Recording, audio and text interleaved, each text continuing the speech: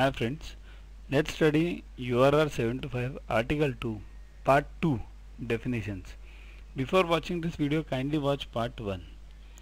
So let's start. Claiming bank means a bank that honors or negotiates a credit and presents a reimbursement claim to the reimbursing bank. It means here it means this bank, Benny Bank or claiming bank.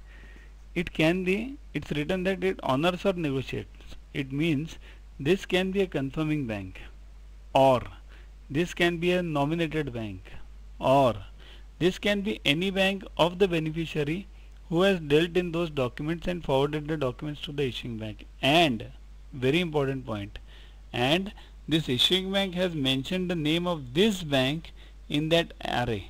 This is very important. This may be any bank but if the issuing bank mentions the name under that RA and this bank puts a claim on this bank this reimbursing bank it has to pay so reimbursing bank only checks two parts whether the name of this bank is under that RA, RA and the claim which is presented whether it contains the details of that LC means LC number and all those details. Here, claiming bank includes a bank authorized to present the reimbursement claim to the reimbursing bank on the behalf of the bank that honors or negotiate. It means it means the bank this claiming bank even it can be not not the confirming bank or nominated bank or even the Benny Bank. But it can be a separate bank which is authorized by any of these three banks to put a claim on this reimbursing bank on its behalf. It means apply, authorizing a proxy. It can be a proxy of any of these three banks to put a claim. So why will this case occur? This case can occur where if the claiming bank doesn't have the key arrangements or technical arrangements with the reimbursing bank. It can allow another bank which has the arrangements with this bank, authorizing it to claim.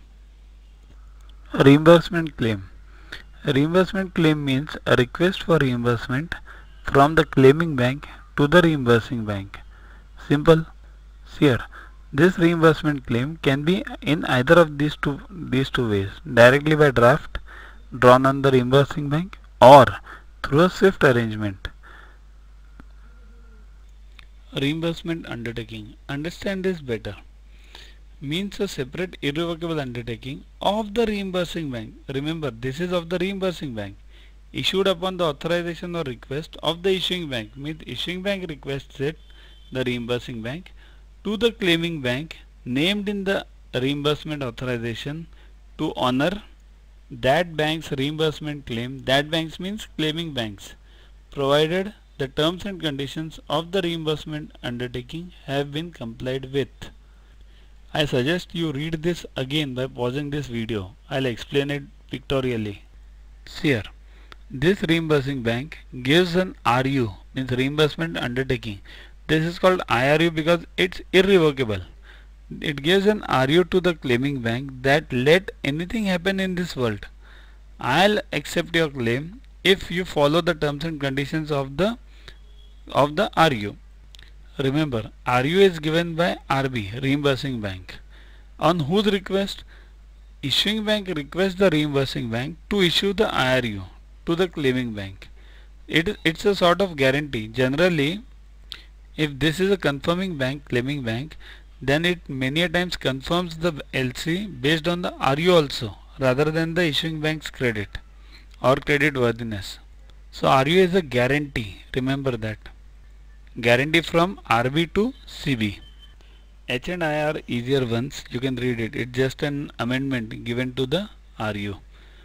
And I is its branches of bank in different countries are considered different banks. Means same bank different countries different branches are different banks means SBI India and SBI USA are two separate banks so that was it regarding article 2 URR 725 you can download this Yuvaguru app from Play Store to get these videos question banks with explanations directly on your mobile. You can also get a physical copy of the question banks with explanations from this website. It contains simulation and basket.